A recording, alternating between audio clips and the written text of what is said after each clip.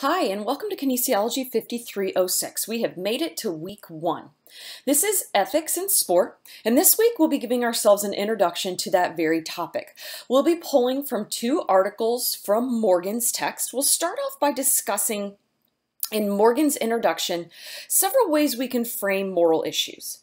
Then we'll give ourselves an understanding of the ways um, these moral issues are played out in normative judgments. We'll also make connections between how morality and community go together. And taking from our second article from Suits and his commentary on elements of sport, we'll be looking at the four elements of sport, and then we'll also consider requirements for the games to be a sport. There's a key perspective I want us to keep in mind throughout the entire term, and I'm going to put it right up front. The key purpose of this course is to challenge the way we think about morals. And then obviously we will specifically apply them to the industry. It's key that we think.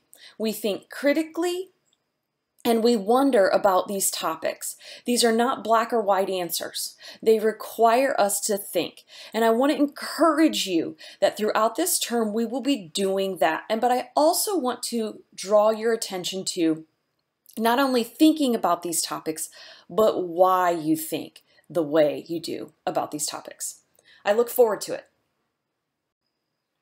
Let's start off with getting ourselves some grounding in a couple of terms, ethics versus morals.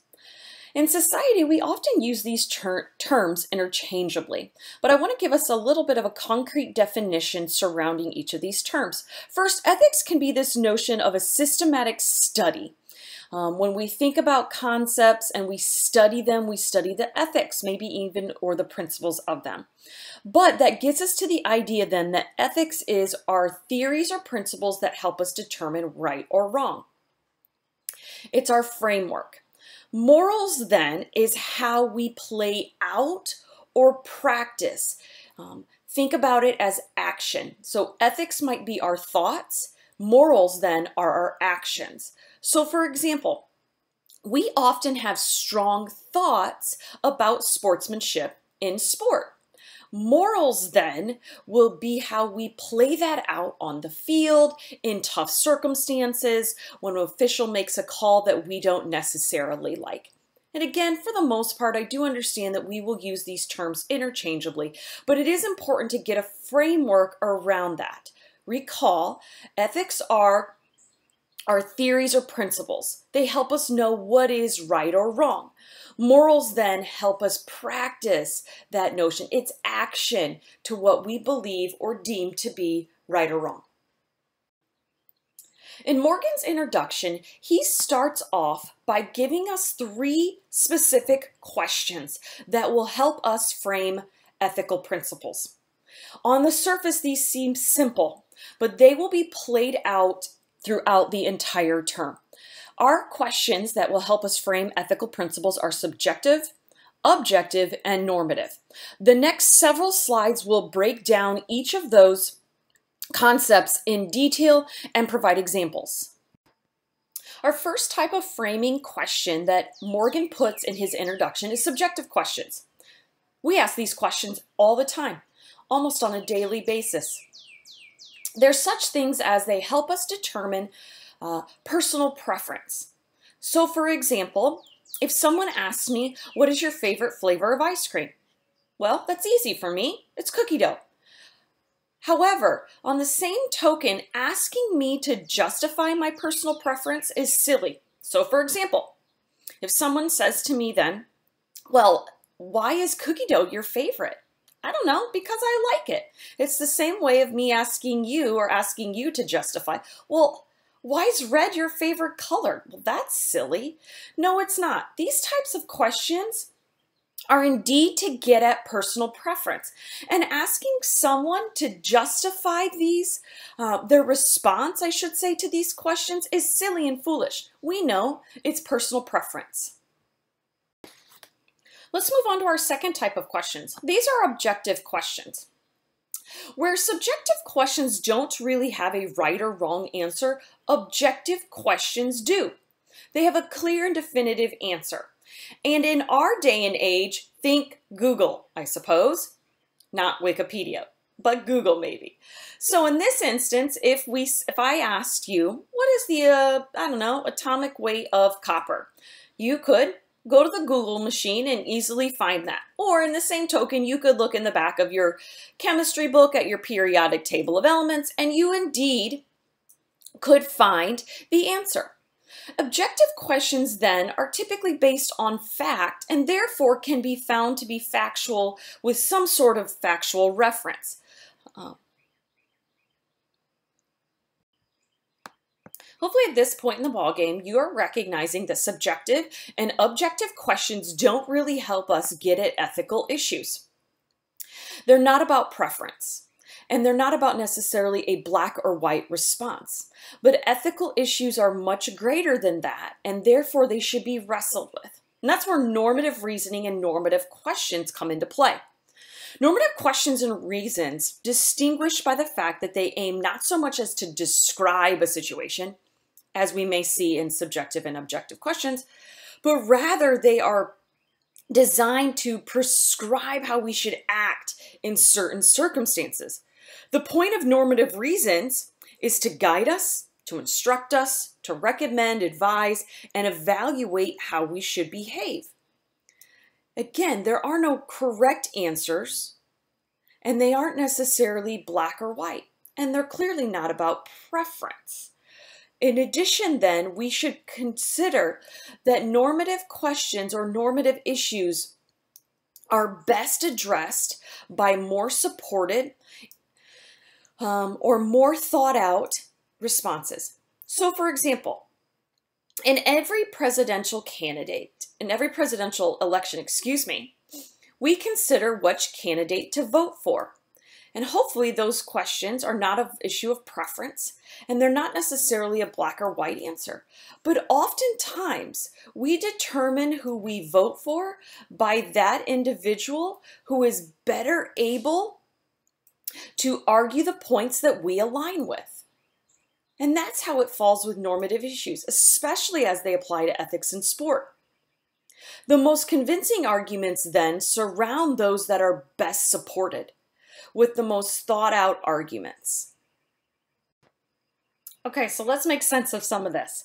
I love this slide because it gives us a little bit of a comparison and contrast. So let's go back and think about those subjective questions. They consider personal preference. Favorite flavor of ice cream, or would you rather play basketball or volleyball? Those objective questions then are those that we could look up and find factual reference. What's the Ohio State University mascot? And or what is the state capital of Texas?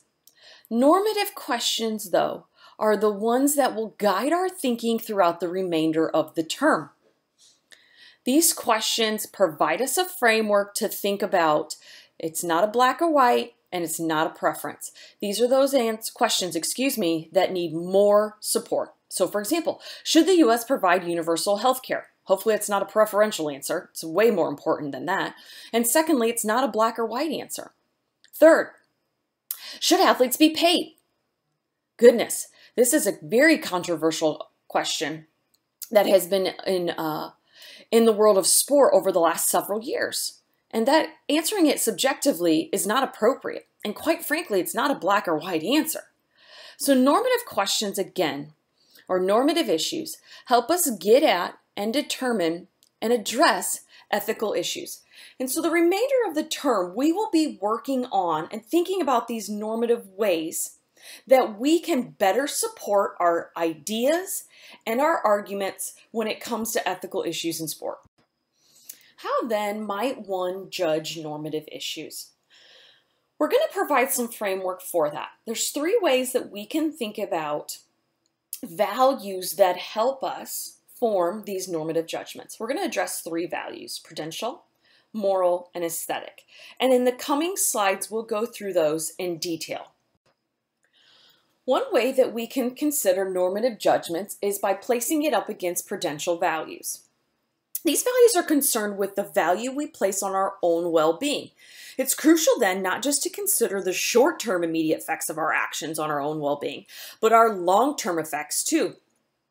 And one that acts without concern for their own future jeopardizes that future and ultimately their long term happiness. So let's go back and think about this notion of should college athletes be paid? And if we are thinking about how, if that may apply to one's own well-being, for someone who is and or was a college athlete, they may have strong opinions about that because that is specifically applied to them. Our second way to frame normative judgments is through aesthetic values. These are rooted in the way that we view the world around us, both kind of that natural world and the human made one, as well as the artificial one. When we value something aesthetically, we consider not what practical purpose it might have or might not have, nor its practical utility, but rather the beauty and grace of it. I think interestingly, for many sport enthusiasts, they find its aesthetic value in the world of sport. So, for example, someone who is an avid baseball follower might find a team that beautifully executes a double play to be aesthetically valuable. That value comes in the beauty and the grace and the ability to execute that skill. We've made it to our third and final way that we can consider normative judgments. This is moral values. And for some, this is really where the, the rubber meets the road.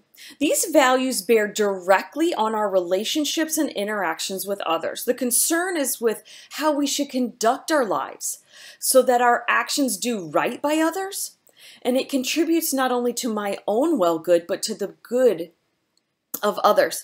Therefore, we want to take into consideration equal treatment and moral respect that we owe others. This is going to lead us in a couple of slides to this notion of how morality and community go together. Okay, let's sum up these three values that help us address normative judgments. Recall that prudential values are concerned with the value we place on our own well-being. Should I go to law school? And in that, in answering that question, excuse me, we consider our own well-being. In the same way, we may say things like, what foods are best for my post-race recovery? Again, my own well-being. Our second value then is that aesthetic value, and it's rooted in the way we view things. Do you find beauty when a pitcher throws a perfect game? And finally, again, where that rubber meets the road is the third value, moral values. This considers excuse me, our relationships and interactions with others.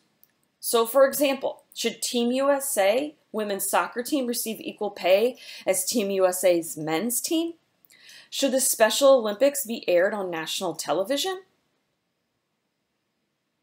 All in all, these three values help us address those normative issues and our normative judgments. This discussion of moral values and also normative issues is ultimately going to lead us to this question of how are morality and community connected? The next several slides will help us make sense of that. In Morgan's introduction, he wants to argue that at our core, humans are distinctly ethical beings. And unlike any other being, they have the ability to justify and evaluate those interactions with other humans. Morgan makes this statement, and I think it's important and worth, and I'll repeat it. Moral values are not first person singular. They are not subjective kind of values concerned solely or primarily with self-interested wants and desires. Rather, moral reasons and values are first person plural, intersubjective. They tell us what we have reason to do or to value as members of the community. To sum that up, for Morgan, moral values are much more than just being concerned with me, I. Rather, they are concerned with, or moral values take not only me and I, but put it in perspective of those around me. That's that notion of first person plural intersubjective. That I, while yes, I or me, I have to take that in context with those that are in my community and those that are around me. And that is where we become or act out morals. For Morgan, morality and community go together in three different ways social sense, that shared point of view, and a recognition that my actions impact others. So, first, this notion of a social sense. For Morgan, morality and community go together in a social sense because it is in a membership in a community that we learn to behave morally. So think back on growing up. Where did you learn to behave morally? It could have been in a place of worship. It could have been in a school setting. It could have been at home. And oftentimes those morals were learned in our interaction and membership with that community. The second notion then comes off of that notion of a social sense, but it takes into consideration a shared point of view. Morality and community go together when we, as members of a community, recognize and appreciate the other people in our community. I want to think about a team sense. In a, a team situation, oftentimes, we then learn how we can see and appreciate our teammates' point of view. And that is this very notion of morality and community going together. Finally, the third way is a recognition that our actions, excuse me, impact others. So members of a genuine community recognize that we can empathize with others' point of view, and therefore my actions might indeed impact someone else. So let's go back to our team example. When people are in a healthy team setting, considering where morality and community go together, there's a recognition that each athlete or each member of that community knows and recognizes that the actions of each individual athlete does indeed impact those that are in my community. One interesting thing about this notion then, and we'll talk about it more in the coming slide, it's not natural and sometimes therefore it's difficult to extend empathy to members outside our community. And this is oftentimes where we see morality and community not going together.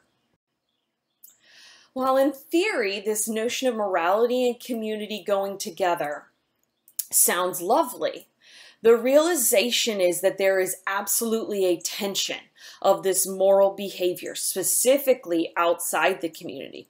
First of all, oftentimes we view as humans this notion that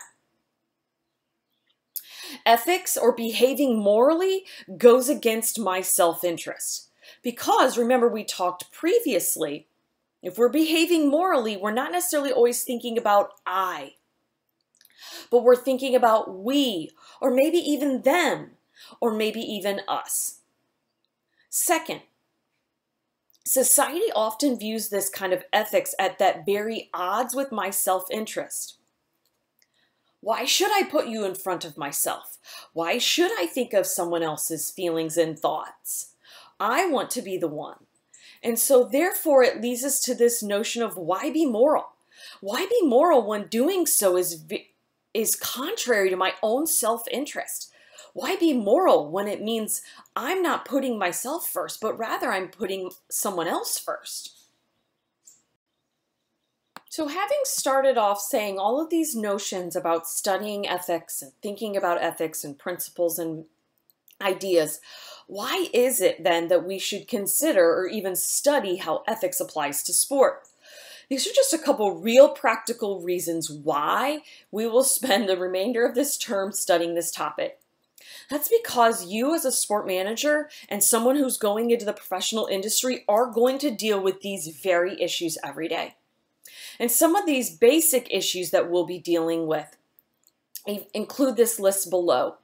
Uh, racial and gender inequality, cheating, unequal participation, student athlete concerns, scandals, concerns with the media, sexual misconduct, and or violent behavior. And that list is by no means all encompassing.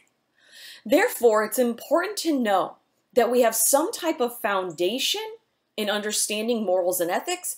So when these situations do arise, we aren't necessarily caught off guard, but we're prepared and have a foundation and are able to handle them. Okay, we finished up Morgan's introduction and we're going to move on to our second article for this section. And this is Suits's article on elements of sport. Once we get going on Suits' elements of sport, we may have this question of, okay, how does this fit into the larger context of this course? And it's going to help us answer a number of questions as we go throughout the term, so it's important to get some of this framework. And this is Morgan's uh, quote on Suits.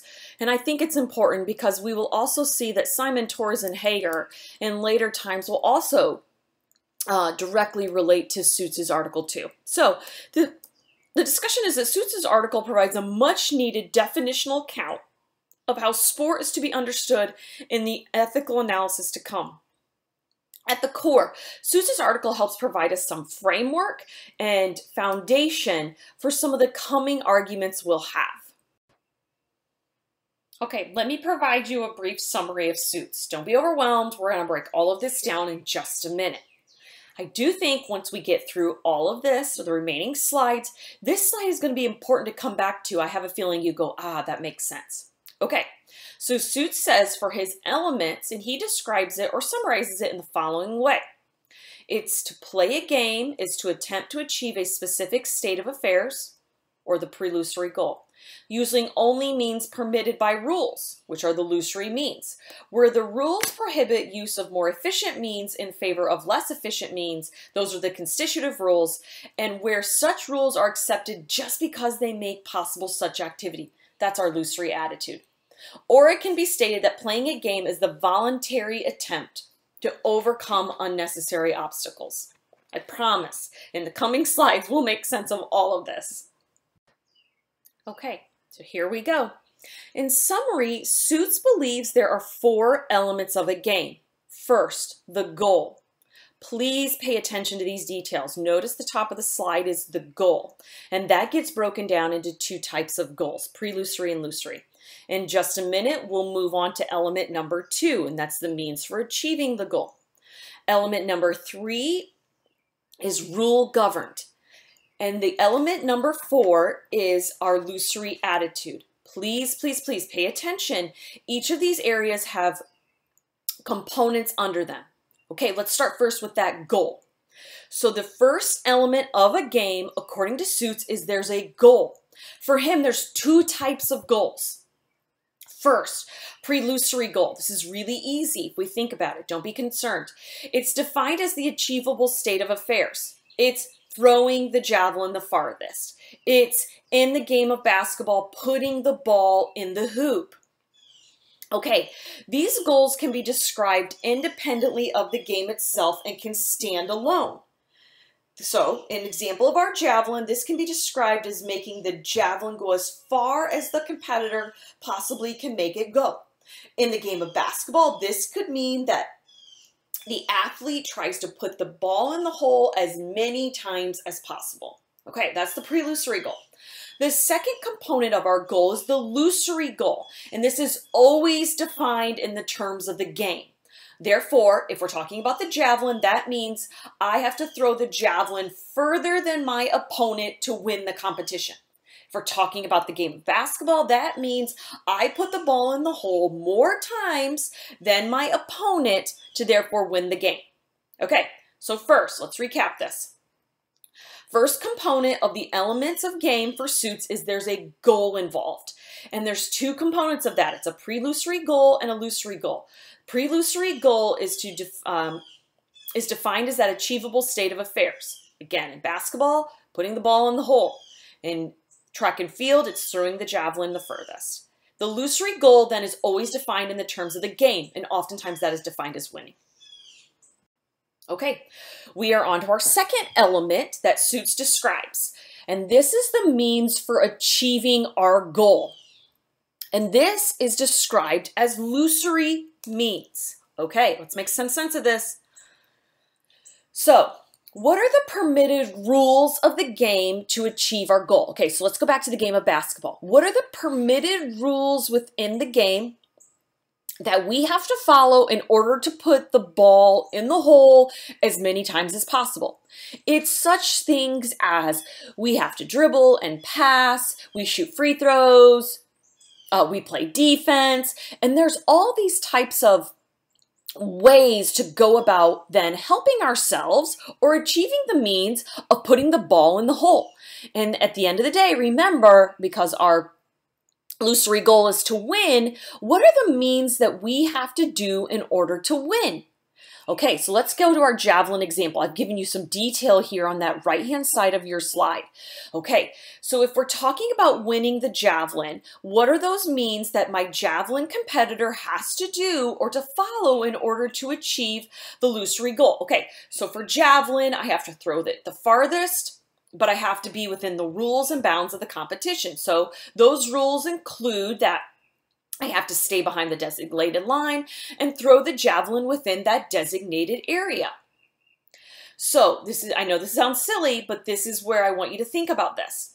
The javelin competitor literally cannot pick up the javelin and walk it out to the field and throw it in the ground. They're not the winner because they haven't achieved those goals by the means necessary. Okay, think also potentially for the game of golf. The goal of the game of golf at the core is to put that little white ball in the hole 100 or so 150, 250 yards away by using your clubs. The competitor that chooses to put the little white ball in their pocket and run it down the course and drop it in the hole is not the winner. Why? Because they haven't followed the means for achieving the goal. Okay, so we've got two elements down. We did our goal, and now we've done our means for achieving the goal. Two more to go. Hopefully your brain is going. The means for achieving the goal are rule governed. That's where we go to our third element. Okay, therefore, the rules governing the elements of sport is our third element of the game. Okay, we have two types of rules. First, constitutive rules. Second, rules of skill. Let's break down those constitutive rules. Okay, Constitutive rules spell out the condition that must be fulfilled in order to play the game. Okay, they tell us what type of means is permissible. Okay, and uh, oftentimes these rules prevent us from using the most efficient way to achieve the goal. Go back to our javelin example. The rules prevent us from taking our javelin and walking it out into the field and tossing it into the ground. The rules in the game of golf prevent us from putting our ball in our pocket, walking down the course, and dropping it, excuse me, into the hole. So make this connection. Oftentimes, these constitutive rules in sport totally put these unnecessarily obstacles in our way. Think about this in the game of golf. Why on earth would anyone put bunkers or trees or turns or any of the sort into the game of golf. And why is it then that we would follow, have to follow rules to play out of the bunkers or out of the rough accordingly? Why? Because those unnecessary rules or obstacles are put in there. And we'll learn in a minute because that's what adds to the joy of the game. But we have to, in many ways, follow those kind of unnecessary rules. So make the connection. Constitutive rules often are that unnecessary obstacles and the rules that put into place those unnecessary obstacles. Okay, those are constitutive rules. All right, let's talk about rules of skill. These define playing a game well. So this considers how we might accomplish the game as skillfully as possible. So for example, maybe in the game of basketball, our rule of skill is executing an offensive play out of from the out of bounds. Maybe it's executing a specific defensive scheme in the game of football. So make the connection. Constitutive rules um, define the conditions that must be fulfilled to play the game, and rules of skill tell us how we play the game well. Okay, we have made it to our fourth and final element of the game. Please recall our first three elements. Element number one was the goal, and it was broken down to pre-illusory and illusory goals. Element no number two, excuse me, was the means for achieving the goal. That was our illusory means. Element number three we just talked about was rule governing. And we talked about constitutive rules and rules of skill. The last component then is this notion of attitude towards the elements of sport. And this is where our illusory attitude comes into play.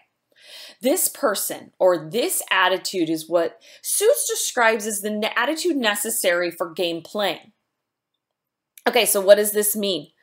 This person or this attitude knowingly accepts and embraces the rules or those crazy obstacles in order to achieve the game. So think about this. Someone that picks up the golf clubs and goes to the golf course to play the game of golf must indeed have a lusory attitude that they knowingly accept and embrace the constitutive rules, which really includes those unnecessary obstacles like the bunker and like the rough, and considers them a part of the game that brings challenge. I want to bring out this point. The lusory attitude, and I'm going to bring this, read this directly from your slide. It recognizes that those unnecessary obstacles in everyday life and occurrences are irrational. It would be irrational for us to put obstacles in our way on our drive, for example, to work in the morning. That would be irrational. However, within the elements of sport, the lusory attitude welcomes these unnecessary challenges because there are few areas in our life where these unnecessary obstacles and subsequent challenges are acceptable. For Suits, the lusory attitude is very important and it gives a lot of value to the game of sport.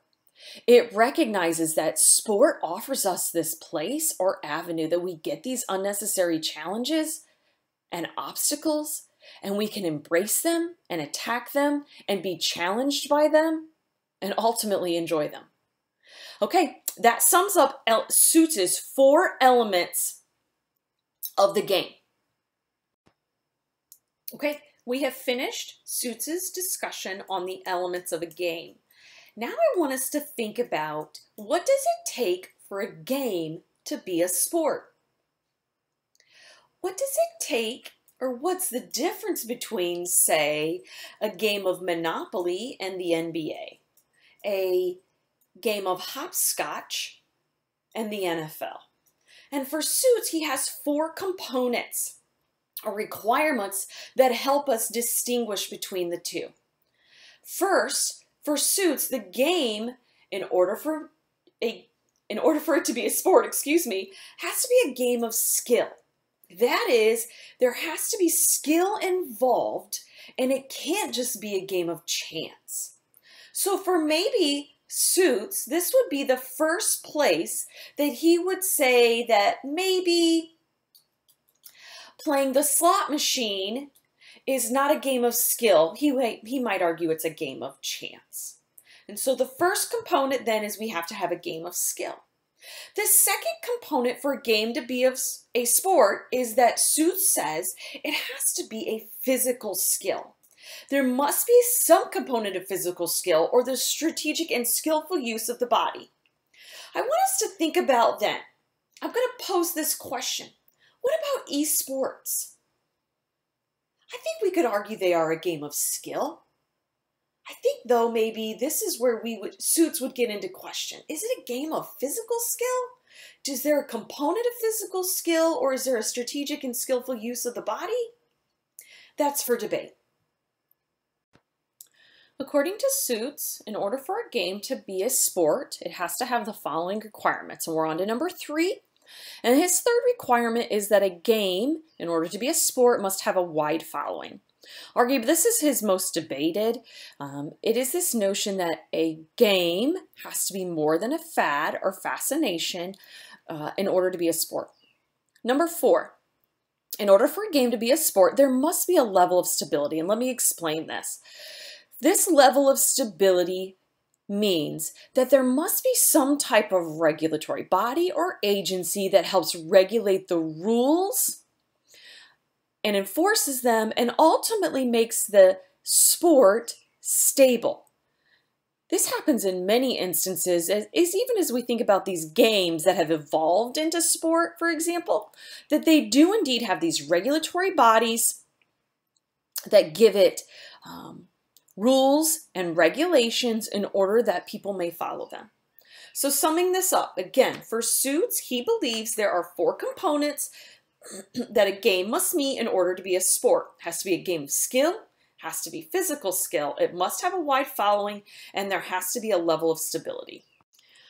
As I stated early on with our Suits discussion, I'm going to return to this slide, and it's that summary of Suits' elements of the game. And hopefully, as we look at this, we go, oh yeah, this makes a little more sense.